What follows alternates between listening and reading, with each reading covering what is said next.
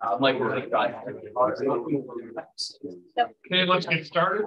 Uh, welcome to the UT Energy Symposium for Tuesday, September 27th, 2022. I'm Dr. David Tuttle. I'm substituting for Dr. Gary Kane. Our presentation today is building a molten salt reactor in Texas by 2025. But before I introduce our distinguished speakers, let me give you a preview of what is coming up next. Let's talk to it.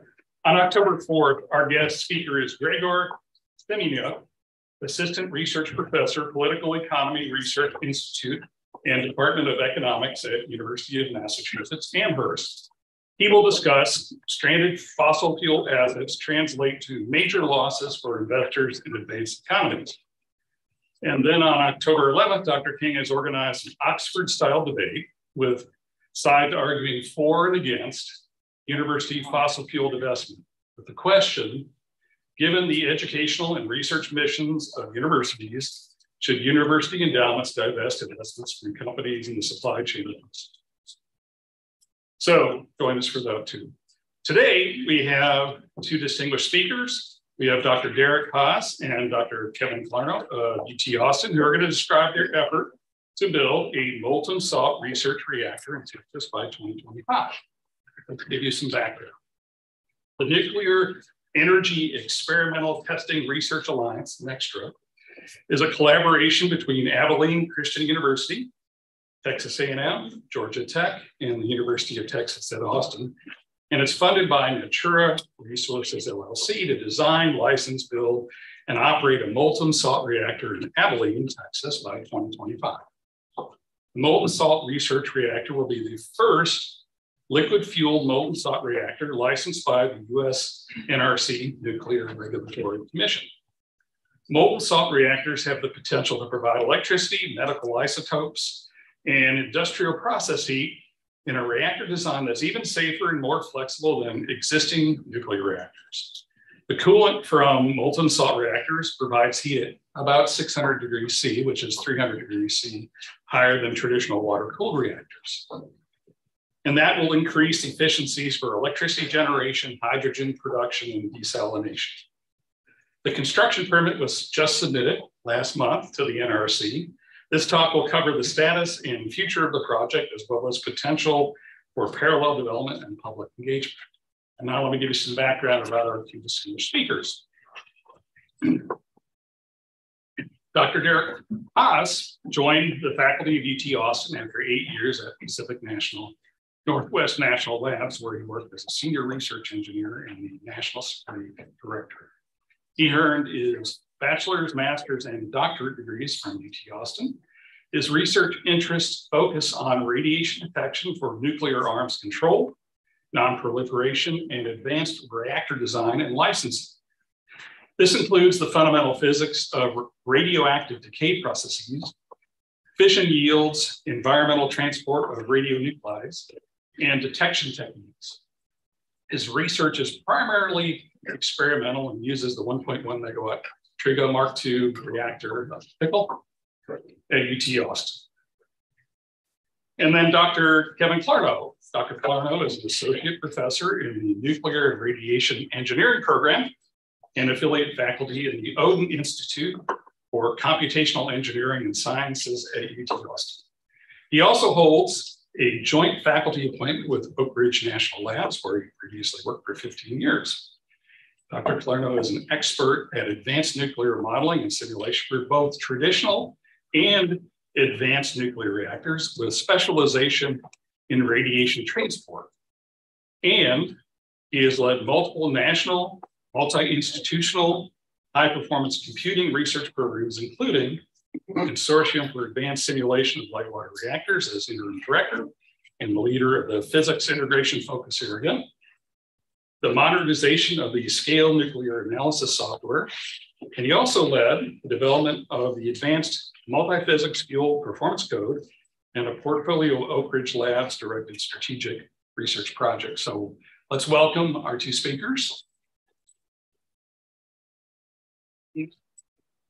We'll have a Q&A session after the presentations are completed, and please online use the Q&A function in the chat.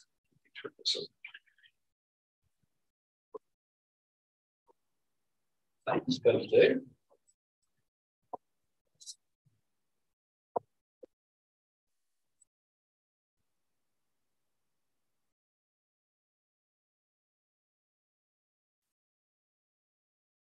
Right, so I will rely on anybody online to let us know if we're not hearing uh, successfully.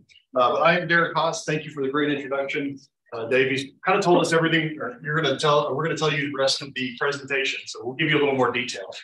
Um, I do want to stress that Kevin and I are here speaking on behalf of a very large uh, collaboration.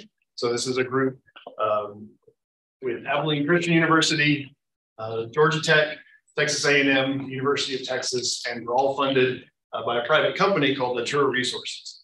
So um, many professors, students, staff uh, contributed to the work that we'll talk about today. And, um, and we're just here to take all the credit. Right, so it's the mouse. um, so the goal of our collaboration is to solve energy, water, and medicine problems around the world. So we've bitten off a nice small problem to, to solve here. Um, we do understand, though, that because that set of problems is so large that you have to start small.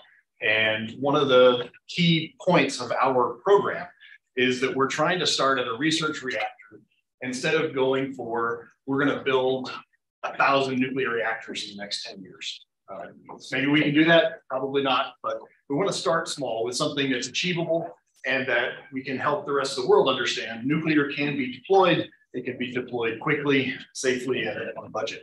Uh, so with that, we started with a research reactor at a university. We have one here at the University of Texas. It's a light water reactor. It was commissioned in 1991 or 92, and it was the last university research reactor uh, to be commissioned in the United States. So um, many people in the audience here were not born then, and so our reactor is older than you are. Um, our goal is to go through that same process and create a research reactor at Abilene Christian University's campus here in Texas.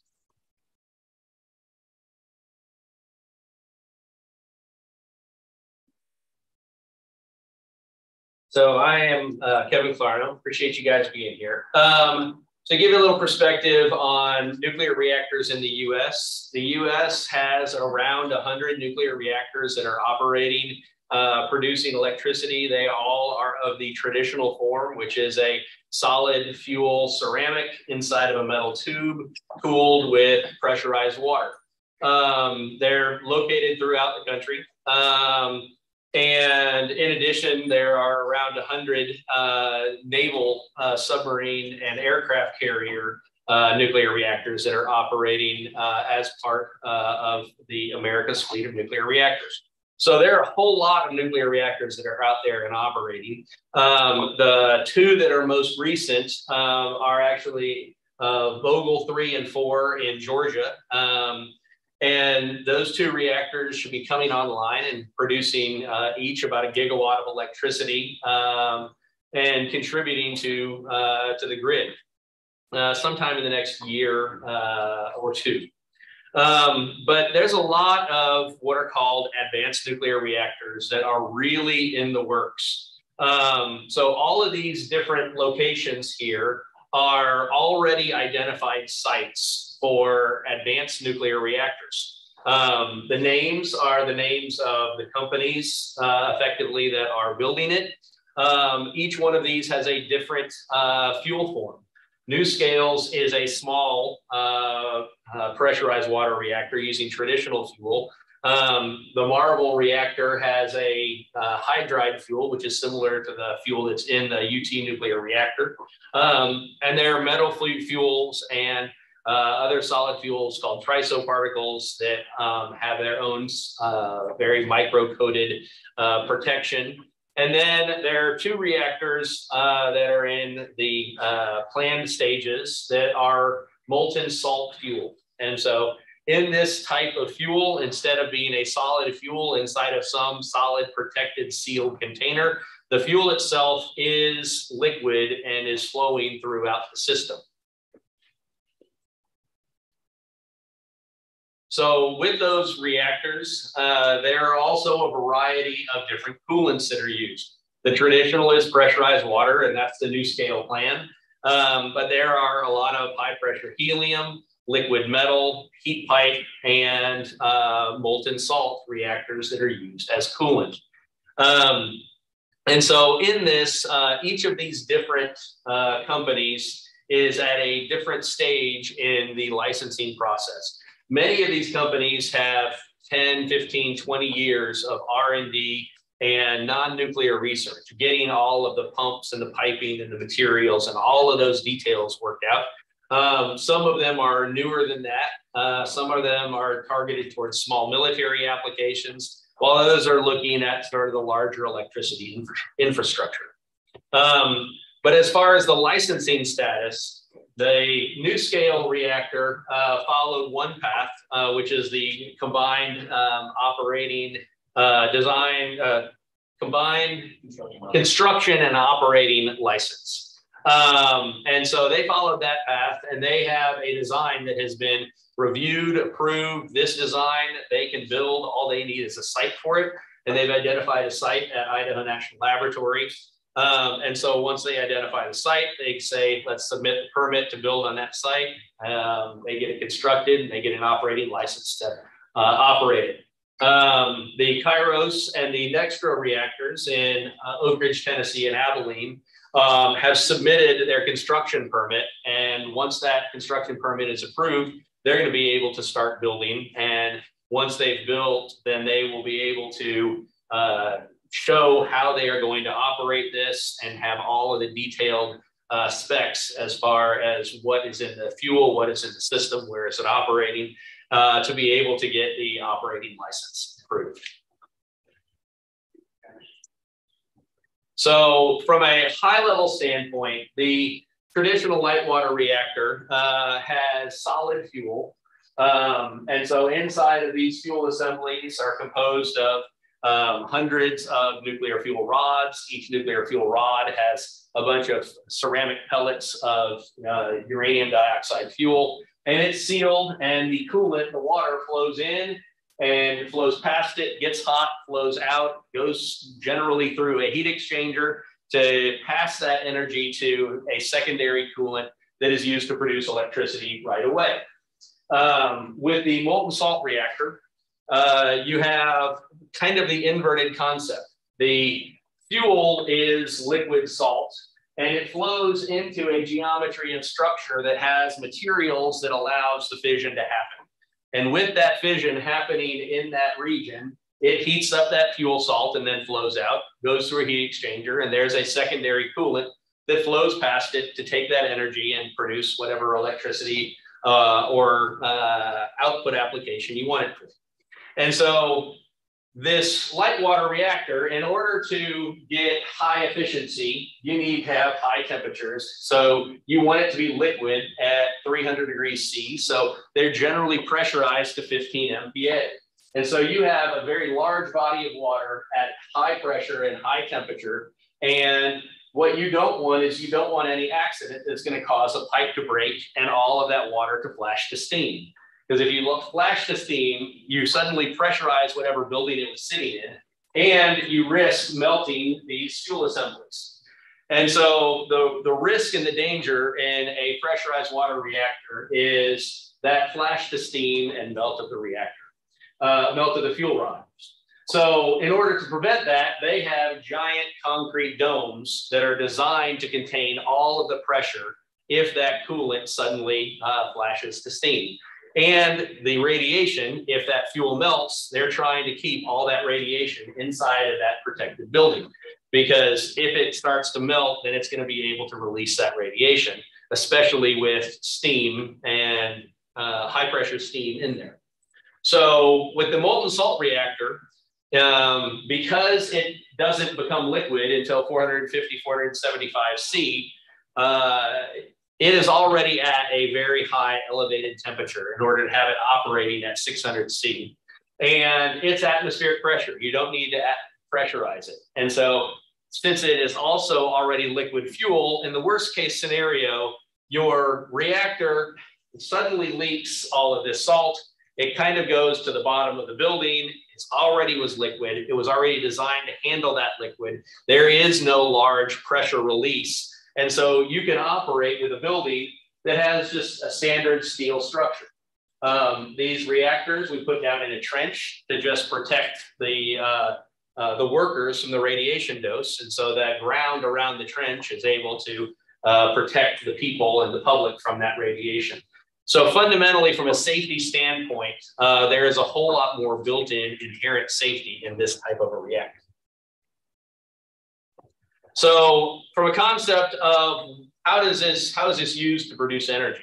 Where do we get this? In that molten salt reactor, we have the fuel salt that is flowing in a loop and going through a heat exchanger. And the you have a coolant salt. And so this coolant salt, you have a big, large coolant storage tank and you pump it through the heat exchanger to cool off that primary and you fill up your energy storage tank. So here you have a large energy storage salt tank and whenever you want to use that energy, whether to generate electricity, desalination, hydrogen generation, or industrial heat, you use that energy, you pump the salt back into the coolant storage and you can just flow through that loop. As long as you have sufficient coolant in your coolant storage, you can operate your reactor. If you start realize you're running low on coolant, you have a critical level and you say, let's turn the reactor off. Um, meanwhile, your fuel is liquid and it is in a fully isolated sealed loop. It's not interacting with the rest of this salt that is flowing through as coolant. Um, but if you want, you can take samples out of that flowing salt. Since it's liquid, you can reach in, you can grab some out and take it out and separate out the radioisotopes because within that fuel, with the fission happening, you are producing all kinds of radioisotopes that are useful for medical industrial purposes. But it, you are you are also, uh, especially with a thorium fuel cycle, you can put thorium in this reactor and you can generate new uranium that is used as nuclear fuel. And so through this process, you can design a fully sustainable uh, nuclear energy fuel cycle. Um, in addition, uh, if you remove the oxygen, which is corrosive, you remove the oxygen from that traditional nuclear fuel, then you can take that spent fuel from the traditional reactors and put it inside of these molten salt reactors, and you can start to burn and eliminate that nuclear waste. So, from a conceptual standpoint, there's a lot of benefits to these molten salt reactors over the traditional reactors, which are just producing electricity that is not varying on demand. It is baseload electricity power. Um, and so uh, from that standpoint, there's, there's a lot of benefit and opportunity. So the reactor that we're working on is built on a proven technology. So in the in the 1950s and 1960s, there were four different molten salt reactors built. Uh, the first three were for the military, and the third, oops, if I get that out of the way, maybe not that way. Uh, the, the, fourth was the molten salt reactor experiment, which operated from 1965 to 1969 at Oak Ridge National Lab. Um, it operated safely, it was effective, they demonstrated the technology, the materials, um, and the safety of the system. So this is a proven technology that, that can be built and has been built. So the Nextra Alliance, okay, the Nextra Alliance uh, is this collaboration uh, between uh, Natura Resources, Abilene, Texas A&M, Texas, and Georgia Tech. Uh, this really came about as a Texas-focused initiative. Um, in Abilene, they had the idea and the vision for this, and they said, we want to make this happen, but we don't have the expertise all by ourselves uh, we need to reach out to the leading institutions in Texas. And uh, one of the professors here at UT left for Georgia Tech soon after that discussion started happening. So it's a Texas initiative with Georgia Tech helping out. Um, the current funding uh, is uh, over $30 million plus Uh, DOE Office of Nuclear Energy has pitched in uh, with support from the NEUP program through grants and GAIN vouchers. And there are over 150 people that are currently participating in this design and licensing process.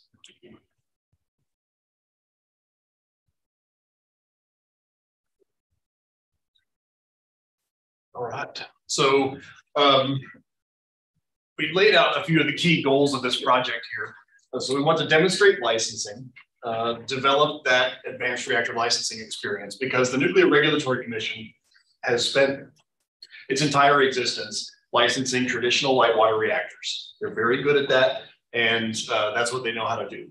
They're being asked now to license a whole new type of reactor, and not just one type, but all of those different types of reactors that Kevin talked about. Uh, so um, luckily, that is going to be a you know collaborative uh, experience for everybody because we're designing the reactors and we're communicating with the regulators about what we are finding through the design process. They're asking questions. And so um, uh, that's part of what we're trying to do with this research reactor. And the other part of doing it as a research reactor is to drive down some of the costs um, with going with a very large commercial reactor. So another goal would be to establish an initial supply chain. So build this first reactor, identify what parts are commercially available, um, hint, not many, uh, and find out how we can contact suppliers and start developing those supply chains.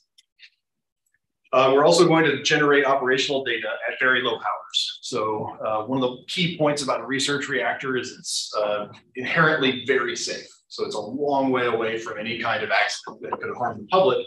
And that allows us to get some of this data that would help to scale up to larger reactors. We want to demonstrate that molten salt chemistry management. That's one of the key points and the key unknown uh, values in um, how we operate a molten salt reactor. We want to qualify the nuclear software that we're using to predict how the reactor will work. And then we want to understand the material accountability challenges. So you're going to have this fuel traditionally in a nuclear reactor. If you want to keep track of your uranium and plutonium, you go and count fuel rods and you have a document that says how long that fuel runs in the reactor. We know about how much mass of uranium and plutonium are in there, and it's pretty easy. So you keep them locked up and you count them. Now, instead of having physical uh, fuel rods, you've got um, a liquid. And so there's a whole new set of challenges in trying to say uh, how much is there in any given volume uh, of the reactor space. So those are our main goals in the, the project of the research reactor itself. Um, laying out what our research reactor looks like. So this is a conceptual design. We're moving on. We've moved on now to more uh, realistic designs that are actually to scale. But the key point here is that we are basing this off of that reactor from the 60s that Kevin talked about. Um, that molten salt reactor experiment used uranium fluoride, lithium fluoride, beryllium fluoride as the fuel salt. Uh, it had a loop design, which is what we're continuing with, a graphite moderator uh, to slow down the neutrons, and then it had a drain tank for any kind of accident scenario. So if things were not happening the way you want them to happen, the idea is the fuel drains out of the reactor into a drain tank where the reaction shuts down, everything is allowed to reset, and you can assess what went wrong and, and try to restart the reactor. Uh, it's also a trench-based design so that uh, the reactor is down here, again, shielding that radiation that's coming off the fission reaction. A few of the changes that we've made in the molten salt research reactor at the top is we're going to uh, high assay low enriched uranium.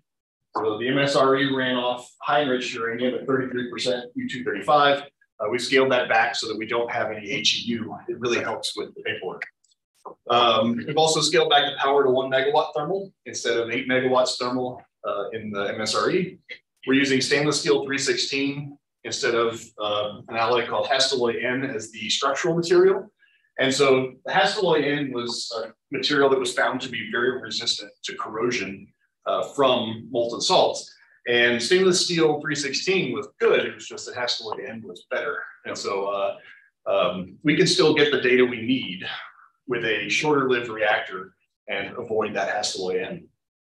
Uh, we won't have a requirement in order to operate to pull off radioactive gases like was done in the MSRE. We're actually going to do that as an experiment so that we can gather data from that, but it's not required to operate.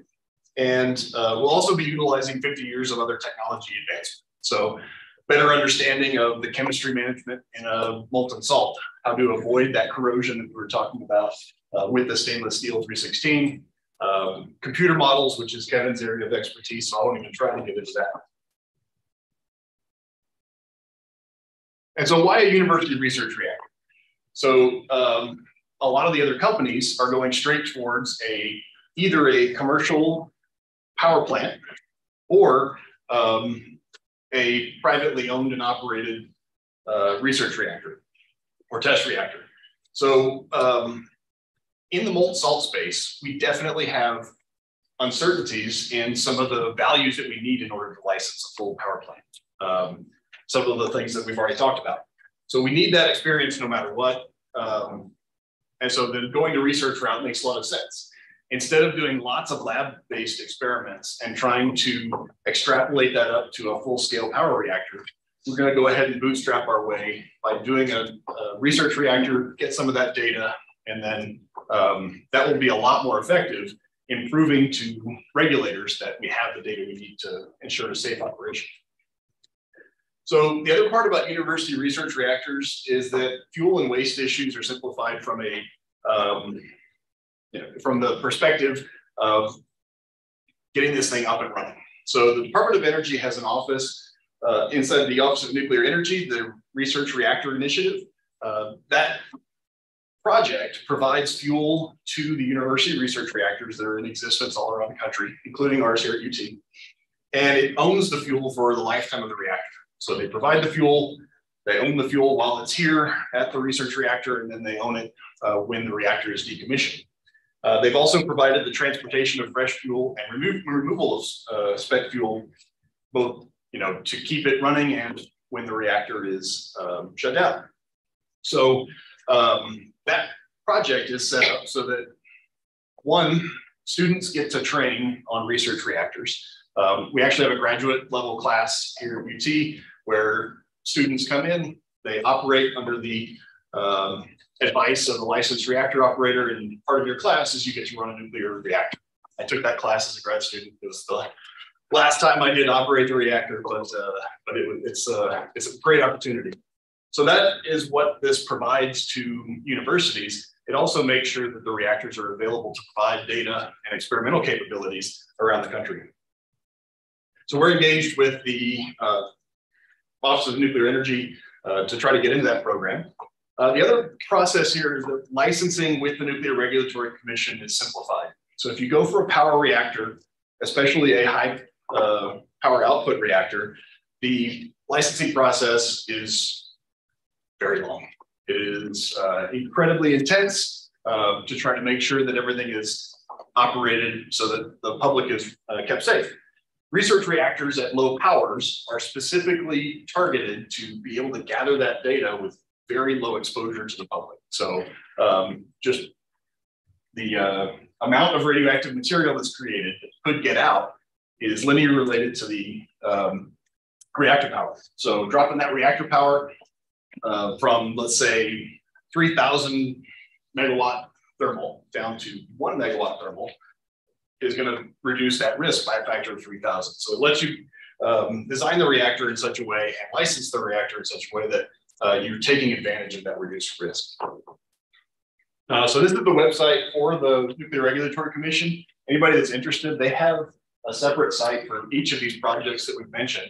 And this is the ACU site. Um, the main thing there is that you can keep up with all of the processes. Everybody's submitting their pre-licensing engagement, their construction permits, things like that. It's all uh, available there from the NRC. And so what does a license application look like? So this is the cover of our recently submitted um, preliminary safety analysis report, PSAR. This is the main document in the construction permit. The other document is a letter saying we intend to build a reactor and we'd like to request a construction permit. So the construction permit itself is 611 pages. It covers the design of the reactor, the operational constraints, the design criteria and standards that will be used to build the reactor, uh, description of the location where it will be deployed, the analysis of any potential accidents, and then an evaluation of the impacts from those accidents, as well as an environmental review on any impacts that the reactor construction and operation decommissioning may have on the environment. So it's a beefy document. And probably the most important part about this process for us has been that we have had the back and forth with the Nuclear Regulatory Commission while we've been developing the document. So um, in the past, engagements with the regulator has been of the type that you write a document, you throw it over the fence to the regulator, the regulator looks at it, sends back official questions, you try to answer the questions to the best of your ability, and that goes back, and it's this constant, very long timeline. Normally, this is a month for each step to go back and forth. And so we're trying to uh, speed that up a bit. And so we feel like we've taken advantage of that and put together a solid construction permit to build this reactor. So what does it look like? Um, this is the architectural design from the, the company that's building the uh, Science and Engineering Research Center at Abilene. And um, one of the key features here is that way the uh, regulations are currently laid out, you can build a building that you would like to one day put a nuclear reactor in. And you don't have to get a license to build a building, but if you build the building incorrectly, you have to change something, then you're on the hook for that change. Um, then you can apply it for a license to build the reactor inside that building. So that's the path we're taking here. And um, ACU has broken ground on this building, and we've submitted that construction permit to install the reactor in a building. So um, that's another way that we're trying to streamline the processes to get results more quickly. A little timeline at the top here. So um, the NEXT lab was formed at ACU in 2016. In uh, 2018, they received a $3.5 million donation to get this research stood up. In 2020, the consortium was formed where ACU brought in uh, other professors and, and staff from UT A&M and Georgia Tech, and we were funded. And so then construction started on the this building here that will house the reactor this year, and we submitted our construction permit this year. We are aiming for our operational license and first criticality in 2025. And then as we're going through these next steps, we're hoping to help out with some of the commercial activity, commercialization activity. So we're designing a research reactor what does a commercial reactor look like that builds off of this first one?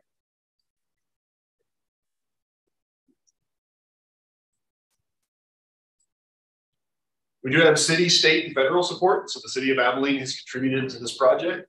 Um, the state of Texas passed uh, resolutions in support of the project here. And then we've also engaged with both the uh, Department of Energy and U.S. Nuclear Regulatory Commission. Um, you've probably seen in a lot of policy and bills that have been passed lately is that nuclear is now back in fashion. And so um, we're hoping that we have hit this at the perfect time uh, to take advantage of a lot of the, the drivers out there in the funding. So a little bit of details about the Science and Engineering Research uh, Center. It is 28,000 square feet with a 6,000 square foot research bay. It has some specialty research labs to support gathering that data that we talked about. Um, has some offices and um, like I mentioned, we are in the construction phase. So when we talk to the nuclear community, this next slide always makes everybody real excited because in the nuclear community, building something is a big step that we rarely get to, to reach. Uh, most of the time you design a reactor, and then you move on to the next project. Um, we've actually broken ground here. So this is ACU's campus. They have um, started digging the trench there. Um, I will also mention a couple of things about this. So there's your trench. They're going to install um, piers to support a very um, heavy trench floor there, and then they put build up the walls around that. And then once it comes to the surface, they backfill around the trench and pour the slab for the rest of the building. this is right across the street from ACU's campus. Uh, they're actually absorbing this lot into their um, campus, and it is the site of a former elementary school. So um, uh, the Abilene School District moved out of the school. ACU purchased the site from uh, the school district, and the uh, school gym is actually being turned into some radiochemistry labs to support this work.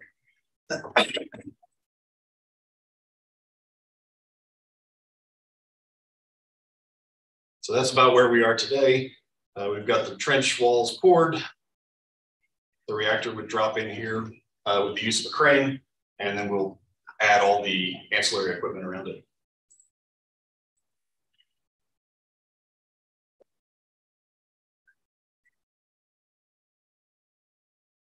All right, so what's our path forward? We've got a construction permit submitted. We need that construction permit to be approved. While that is going through the approvals process, we're working on a detailed design of the reactor systems, testing some of the subsystems in a non-nuclear fashion. So molten salt loops without nuclear fuel.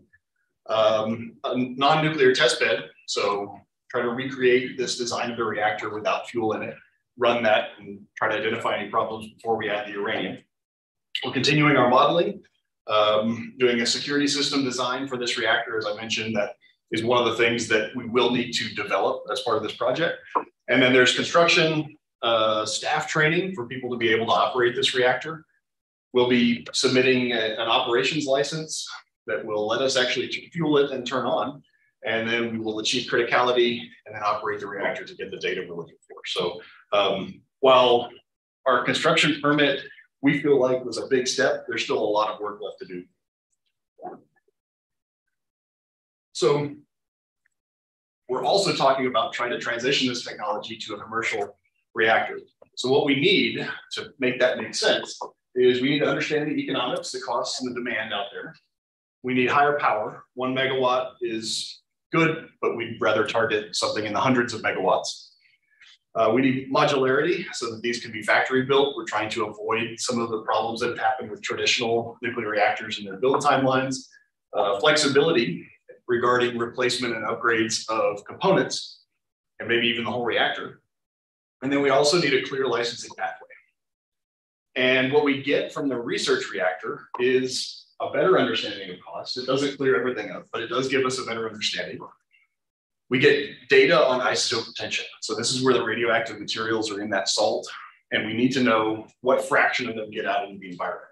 For a construction permit, we've assumed that 100% of the most mobile radionuclides get out. And we think that is a very conservative assumption. Uh, what it does is it lets us build the reactor with a very conservative assumption.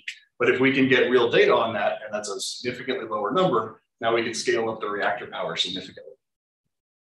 We have uh, an opportunity to identify those supply chain bottlenecks, things like pumps that work in a 650 degree molten salt, uh, temperature sensors and things like that. We will be refining that fuel chemistry process that will aid in the licensing pathway. We'll gather data that we need for code validation, and then we will also demonstrate that licensing pathway with a research reactor so that the idea is then you just scale up for a power reactor and do the additional um, licensing calculations needed for that commercial reactor.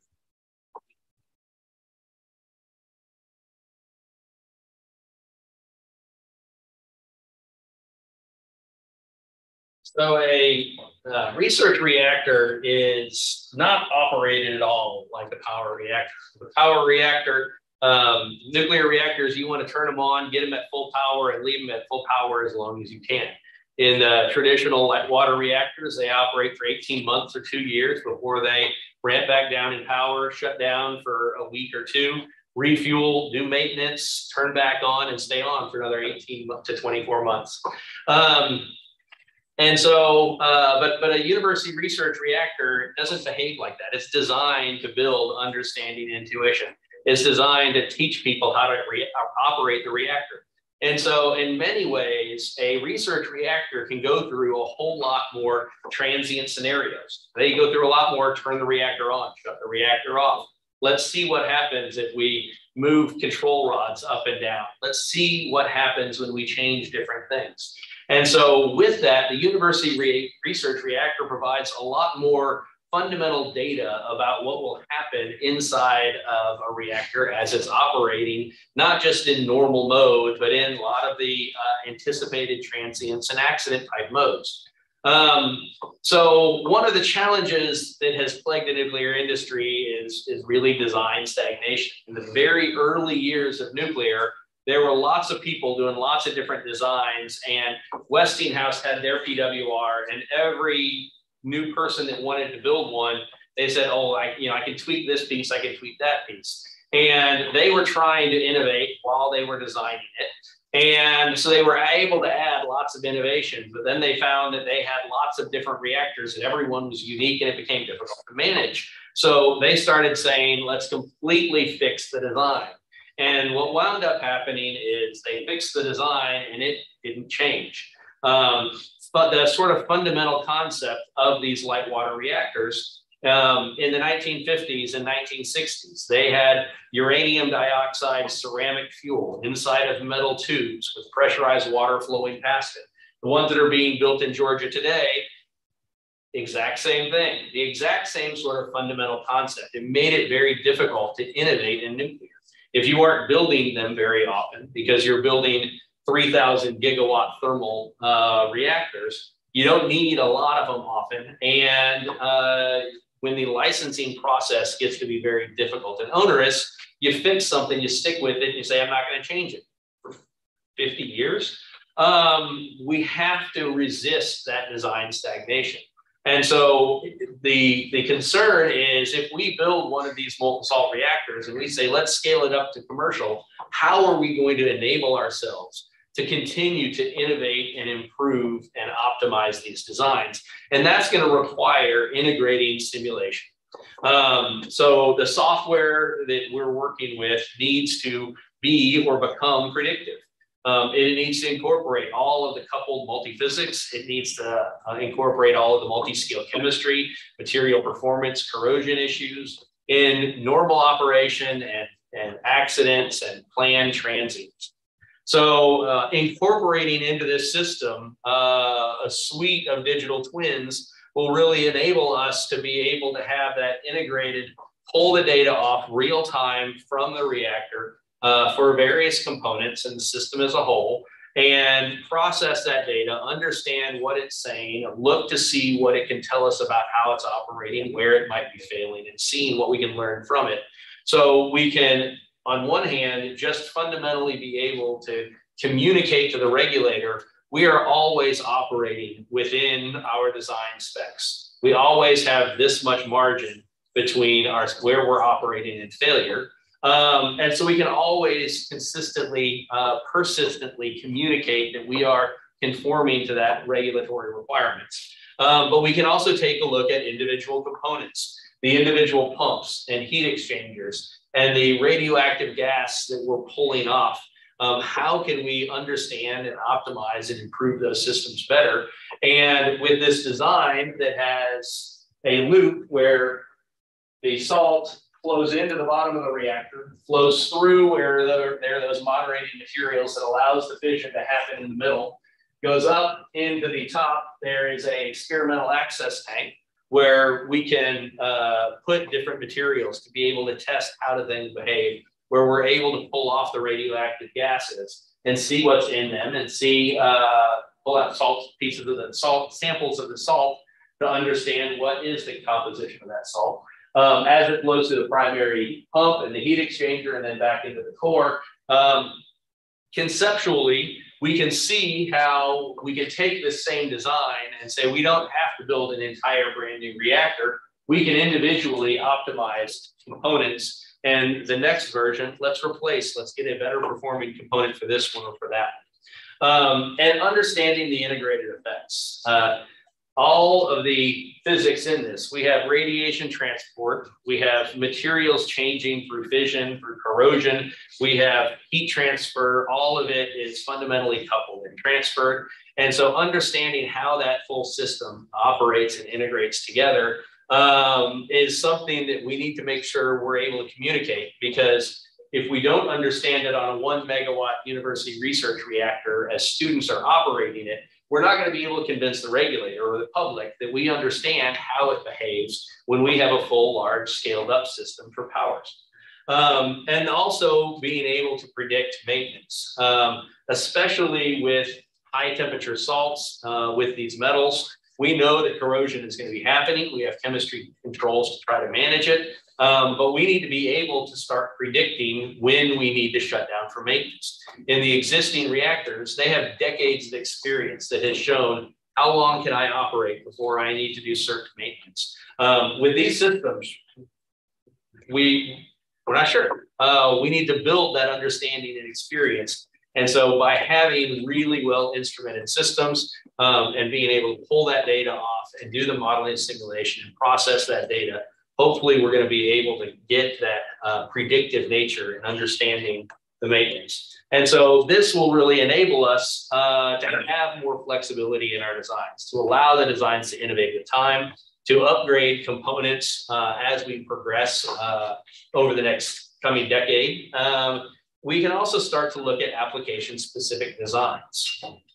Um, and so when we look at what, what could we do with this? So we said it is 600, 650 Celsius uh, high temperature liquid salt. Um, so with that 650 C, we can use that for high efficiency electricity generation. Right now in our Rankine cycle, we're working with 300 C um, uh, steam. Uh, 650 C, there's a lot of other things that can be done. Uh, there are a lot of industrial heat applications uh, hydrogen generation, chemical plants, that kind of thing. Um, the waste heat that comes out, even after the 650C, as you're trying to cool that off, there's going to be some more heat. That heat can be used for seawater desalination, um, uh, produced water cleanup from uh, oil and gas industry. And by uh, taking cold salt from a cold salt storage tank to a hot energy storage tank, tank, you allow yourself the ability to provide the electricity when you need it. The existing reactors, they go straight to producing steam and turning a turbine. But this allows you to pull off that energy, pull off that heat to run the turbine when you want. So right now it can be um, uh, follow where the need is. And when other energy systems aren't providing what's needed to cover the market, uh, this can follow that load. And then there's lots of reactor applications that can come. So mentioned isotope production. Uh, we can feed thorium into this type of reactor and start producing fissile materials, we're producing more uranium than we're using. And we have a sustainable nuclear energy fuel cycle. Um, we can burn the long-lived nuclear waste uh, to fundamentally reduce the volume of radioactive waste that would need to go to final disposal. Um, and we can generate isotopes for other purposes, the medical industry and the uh, industrial application. There are lots of uses for radioactive isotopes. And since this is already a liquid fuel, it is already easier to pull off because in the traditional nuclear reactors, you have a solid fuel that you're going to have to take and separate and chop up in order to get those isotopes. But by it already being liquid, it's easier to pull those off. Do that for a second. And I just have one final pitch here. So our consortium is often hiring. We have uh, open faculty positions at the University of Texas in the nuclear program as part of the Department of Mechanical Engineering. And Georgia Tech also, also has a couple of open faculty positions in nuclear. Um, ACU often has staff positions open for work specifically on this. So I just wanted to throw that out there as well. Uh, we'll open it up for questions.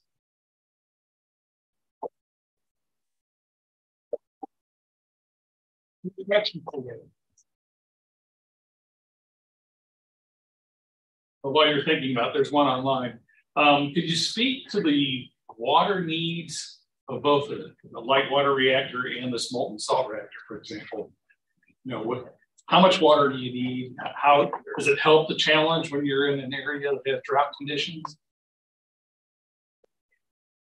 So quantity wise, um, I don't have an answer for that.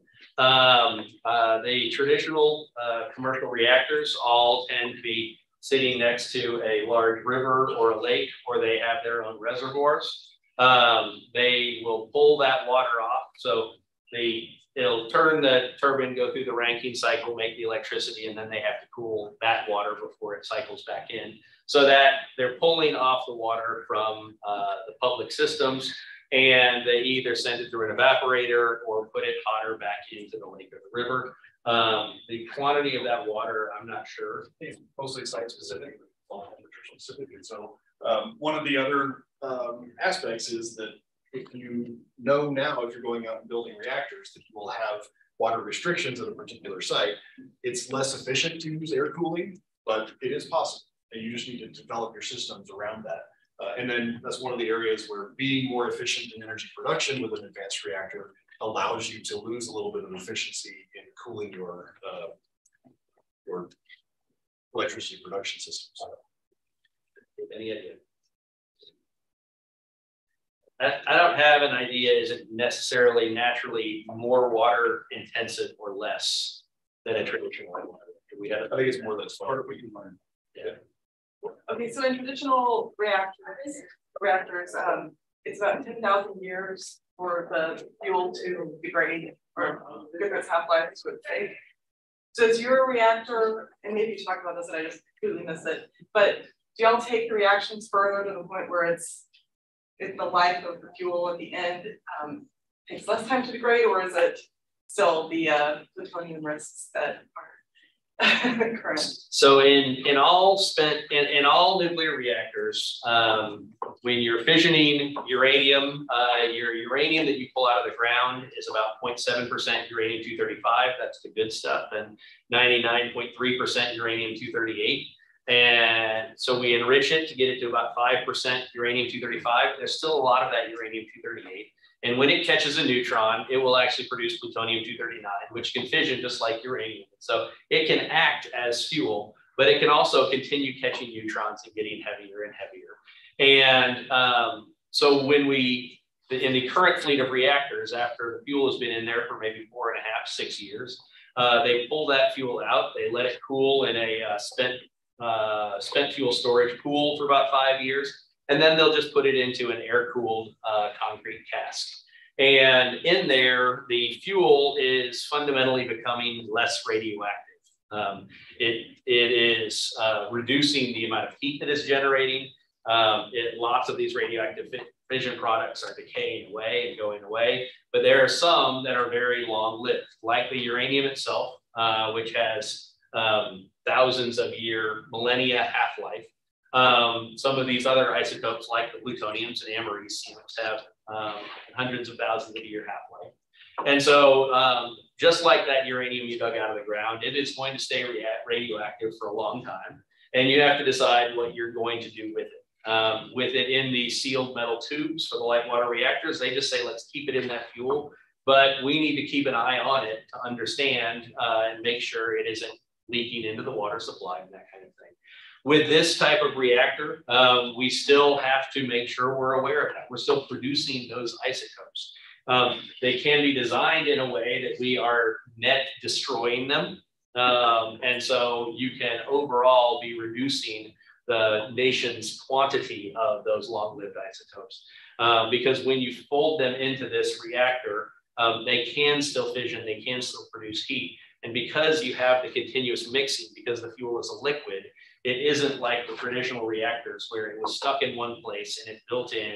And now they said, you know, we've we've generated so much more of these fission products and we've burned some of the fuel that we have to take this fuel and call it waste. Um, here we can continue to irradiate it to burn off a lot of those isotopes. And I would also say that we we do have the opportunity to uh, develop a thorium to uranium 233 fuel cycle which also doesn't produce those very long-lived tax hybrids. Yeah, we can remove the uranium-238 and just work with the thorium and U-233. We don't produce those. You have a question right there? You mentioned that traditional reactors are using organic Rankine cycle, uh, but y'all have more flexibility at a higher temperature. Uh, what's going to handle the power generation side of this? We don't know yet. So, um, So the, the question was, uh, are we using a Rankine cycle or something else? Um, so we do have the opportunity to go with uh, newer advanced designs like supercritical CO2. There's a demonstrator out there. Um, and uh, we're interested in that kind of technology. We're also interested in potentially using helium as a coolant, a final coolant to drive a generator. Um, and so the main item there is you can just operate at you know dramatically higher efficiencies, and potentially 50% more efficient per unit of thermal energy. So, um, so there's definitely some targets out there. I will say that as we are developing this, we're focused on nuclear reactor. Um, we want to get this proven, demonstrated, turned on, and um, and so we're not developing those systems. We are happy to have discussions with folks who are, um, and then whichever of those technologies prove to be uh, a best fit and are actually working, we definitely pick them up. Are you limited away from Rankine cycles because of the temperature? The too hot? Not necessarily. Yeah. Just yeah. Yeah, no, it's not necessarily too hot for Rankine cycle. But to clarify, the um, the molten salt research reactor it's generating one megawatt of heat, and it is just going to be um, air cooled, released to the air. We're not using that one megawatt of heat for any purpose. Any other questions? Got one online. What's the operational lifetime of the demo reactor? The uh, it is being licensed um, to operate for five effective full power years. Um, the molten salt reactor experiment operated for five years. So we feel confident and comfortable that it's been demonstrated to go for five years. We can do five years also. Um, but that's something that we're going to monitor and, um, and, and understand how it works and how it behaves as we track that chemistry. But the intention is for it to be a relatively short-lived reactor. Was there one back? Yeah. I was gonna ask, why would you let the, the energy just like dissipate in the air? Why would you use that? It's very expensive and this is already an expensive uh, project. So it really is just about efficiency. So um, there's also a matter of it changes the licensing. So even a one megawatt reactor, if you're producing commercial power for that, uh, with that reactor, you have to go through a different licensing path that is much more onerous. And so um, that's a big part of it. There are plans out there for other universities to take designs that, um, you know, other advanced reactor designs. So the University of Illinois is interested in powering part of their campus. Um, if the University of Texas was interested, that's something that could be done here as well, as we could replace our uh, natural gas powered power plants with nuclear. Um, are they um, right now? Other universities are more interested in that than, than our university.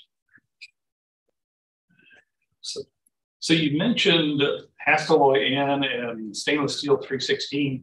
Are those the only new materials you really need, or are there new ones that have to be invented? So stainless steel 316 is quali a qualified nuclear material. And so the Nuclear Regulatory Commission has looked at it, uh, ASME has looked at it and said, this is qualified for nuclear reactors. Hastelloy N hasn't been, and that's one of the reasons why we're using the stainless steel instead of Hastelloy. Um, but long term, we know that there um, are more corrosion resistant things out there uh, that would be better. And one of the reasons for having a research reactor is so we can take some of those materials and put them in this irradiated fuel salt to understand their corrosion, their lifetime properties, to be able to generate the data that would qualify these materials to be used in a future reactor. Other questions? Yeah. Um, so you said that they had the molten salt reactor experiment in the 60s. Why have there not really been any molten salt reactors since then? So um, in this, so in the early days of nuclear energy, um, the commercial industry was trying to make electricity at the same time that the military side was trying to propel our uh, vehicles. And from their standpoint, there was a clear need for something that was structurally stable in case the boat rocked um, and they're very comfortable with water. And so they were consistently leaning towards the solid fuel water cooled reactors. Um, uh, The next generation that was supposed to follow the molten salt reactor experiment was the molten salt breeder reactor. And that reactor was designed to produce more uh, fuel than it was using. It was supposed to be breeding new fissile material. Um, and in the 70s, they decided that um, they didn't want to start pursuing breeding new fuel. Uh, and it had more to do with international politics than it had to do with what were the domestic needs. Uh, what what was the energy produced from the MSRE in the 60s? It was an eight megawatt thermal reactor. Um, it did the same as the, uh, the will. It just dumped its heat. It wasn't used for any production. Is it that, uh, that the same thing that you mentioned that there are two salt molten salt reactors? So that one in the 60s is the other MSR. So the yeah the molten salt reactor uh, experiment in the 1960s operated five years. There were three before that that were part of the aircraft reactor experiment. Um, they were looking at nuclear reactors to power aircraft. We had some questions back there. How long, uh, I mean, knowing, I know that you don't, you don't know what you don't know yet, but um, the way to a, uh, what does that look like? Uh, is it a guesstimate or do you have sort of a? I don't think we're, I don't think we're prepared to give a number on that. Yeah. Um, I will say that, um, we definitely don't want this to be a step-by-step process. We want to do these things in parallel. And so while we are working on getting this reactor turned on, there is a parallel effort to, to design a commercial system so that a first generation of commercial systems could be with them. So yeah, that's the best way I can answer. Yeah, and and a lot of it has to do with um, where the market would lead. Um, is there a market for a one or five megawatt reactor that has a specific purpose? Perhaps. Um, it, and if that's the case, then you could take what we're doing now and convert it pretty easily. Is the market at 250 megawatts? That's may take another research reactor. Um, and so, you know, from that standpoint, it's really, you know, where does the market develop as we start to prove that this can be done? And I'll also mention that uh, DOE came out with a study just a week or two ago about replacing uh, coal generating uh, power plants with nuclear reactors, just dropping small modular reactors in. Uh, that's a particularly encouraging opportunity uh, just because the power lines are already there. A lot of the workers are already there that would that are trained on working on a power plant. Uh, you just need to retrain to work at a nuclear plant um, and then bring in a few nuclear specific staff members. Um, what's changed? Can you describe what's changed at the Nuclear Regulatory Commission? Has there really been a, a transformational shift that makes new technologies much more welcomed and and uh, so there have been some uh, bills passed uh, encouraging the NRC to uh, be more flexible, to uh, work with developers to look at new technologies and not stick to only light water reactors. Um, I, I, don't know specifically what's changed, but I can't say that I've seen it. So uh, I'm on the reactor oversight committee that Kevin chairs, where we oversee the operations of our research reactor here at UT. Um, and the history of the NRC interactions on that reactor are significantly slower and um, less collaborative than what we're experiencing in the licensing of this advanced reactor. So um, something has certainly changed. I think there's a, a reality that these are coming. And so um, in, in 2000, when the Gen 4 initiative in nuclear said, look at all these possible reactors that might come someday, it was just conceptual. And so the NRC didn't really have to do a whole lot to prepare for it because it was, yeah, maybe. Um, but now, as you see that list of all of these people that are saying, I'm building a reactor, this is where I'm building it, the NRC is understanding they need to be responsive, they need to be ready because this is real. And uh, they recognize that there is a lot to be learned together. Um, because the the idea of you put together your package, you throw it over the fence works if they know what to expect that they're going to receive and you know what they should be expecting. But right now, there is really a learning together process on what's here. And so it's regulatory oversight, um, but they're building up their understanding of what does this mean? Because fundamentally, you don't have high pressure water. And now you have this salt that is going to solidify instead of a fuel that you're afraid will melt. And so it's sort of like everything's kind of different and we need to work on this together. Um, and so um, I, I, think it's the, the, reality that these are coming that has kind of adjusted that perspective. And this will be mostly targeted probably as SMRs that can ramp in firm renewables. Yes, I think they'll be almost almost specifically targeted as SMRs, so between 10 and 250 megawatt uh, thermal. Um, I think they have the capacity to ramp and uh, shore up, you know, renewables. Um, I don't know if that's necessarily what the ideal deployment would be. So because of that high temperature, you wouldn't want to necessarily ramp the reactor power output, you would just divert it.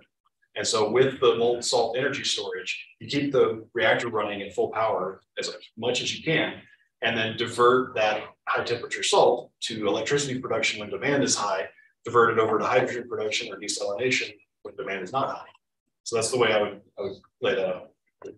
And, and for those who aren't familiar with the terminology, SMR is small modular reactor. So the traditional light water reactors are 3000 megawatt thermal, 1000 megawatt electric. And so small is in the um, you know 20s to hundreds of megawatt electric.